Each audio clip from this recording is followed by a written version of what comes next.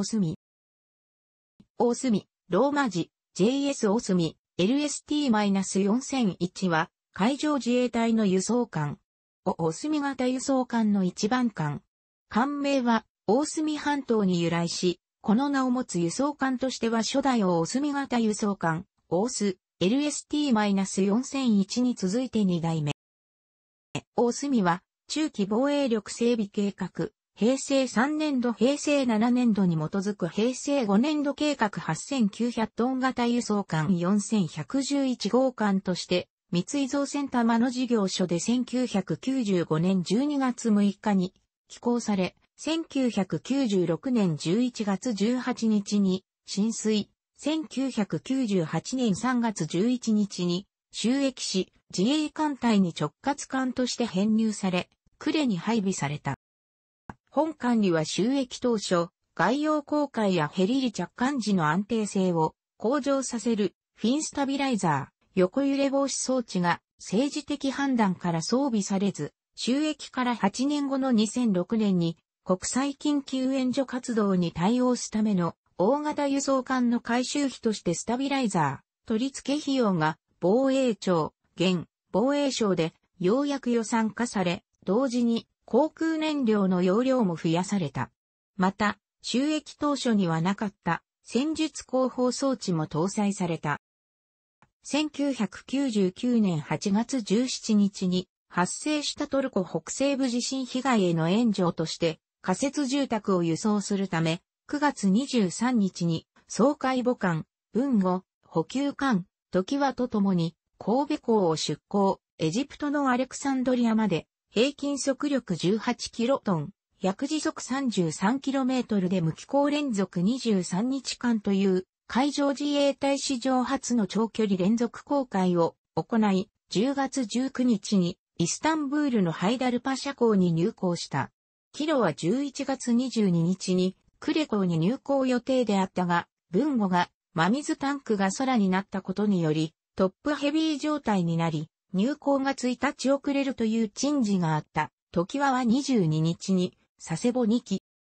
2002年3月9日、呉を出港し、護衛艦、峰行と共に、東ティモールへ PKO 部隊を輸送、同年4月27日、帰国した。なお、2002年3月12日付で、自衛艦隊直轄部隊として第一輸送隊が新編され、同日付で収益した2番艦、下北と共に編入された。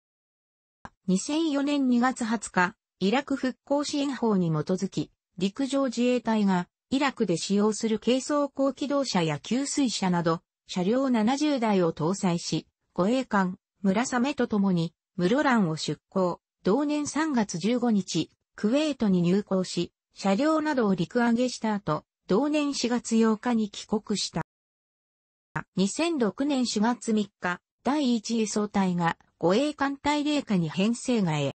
2010年1月26日から1月28日、輸送艦、国崎、米海軍用陸艦、東急ガと共に、佐世保港と九州西方海域で輸送特別訓練を実施。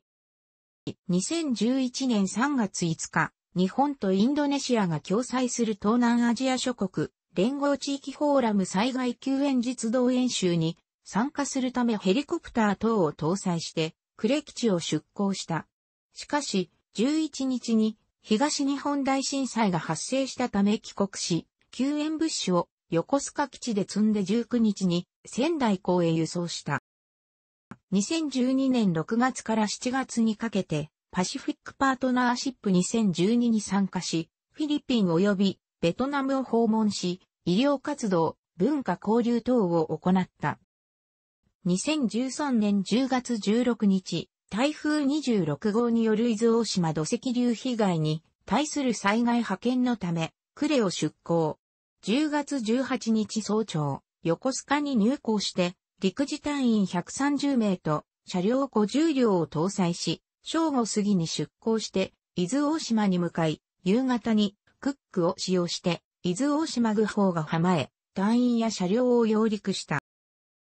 同年11月8日にフィリピンを襲った台風30号による被害の救援のために国際緊急援助隊が編成され、護衛艦、伊勢、補給艦、十和田と共に派遣された3回、現地語で友達作戦。11月18日に呉を出港し、11月22日レーテ湾に到着、救援物資輸送や医療、貿易活動を実施し、12月20日に帰国した。なお、大隅は沖縄周辺での離島防衛のための訓練に参加する予定でったが、急遽これを中止して派遣が決まった。訓練は3万4千人が参加する予定で、大隅は訓練海域で拠点となる計画であった。大隅の脱落によって、離島防衛訓練自体も中止となった。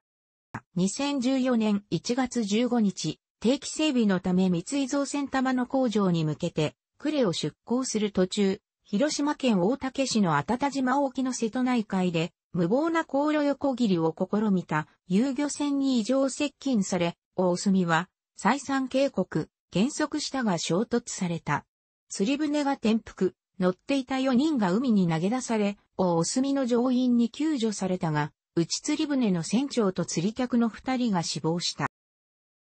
2015年5月16日から5月17日、九州西方海域で SH-60J、軽ヘリ、陸自西部方面総監部、西部方面航空隊 CH-47、J ヘリ、UH-60JA ヘリ、米海軍艦艇、仏海軍強襲揚陸艦、ディズミュード、フリゲート、アコニトと日米仏共同訓練を実施。ディズミュードの LCAT を本艦に、本艦のクックをディズミュードに乗艦させる相互乗艦訓練、クロスデッキなどを行った。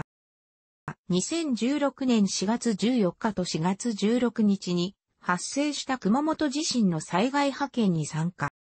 同年7月1日、第一位総隊が総海隊軍令下に編成がへ。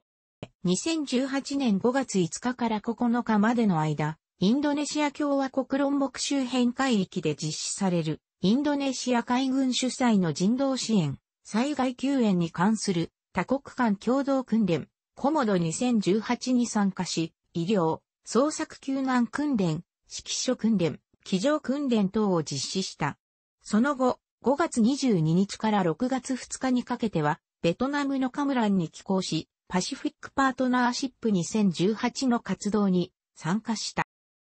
同年7月11日、平成30年7月豪雨を受けて、横須賀基地を離れ、呉基地への物資輸送任務を行う。旧軍港4市、横須賀、舞鶴、呉、佐世保間の災害時総合応援協定に基づいた、呉市の要請に応じて、横須賀市が提供を決定した非常用備蓄物資、土の袋、食料、飲料水、海水淡水化装置など、や、呉地方総監部から横須賀地方総監部に依頼があった物資が積み込まれ、13日に呉に到着した。また、陸自隊員向けに、館内の入浴施設を開放した。同年8月26日及び27日、沖縄周辺海域において、米海軍強襲揚陸艦、ワスプほか、艦艇数隻と共同訓練を実施した。楽しくご覧になりましたら、購読と良いです。クリックしてください。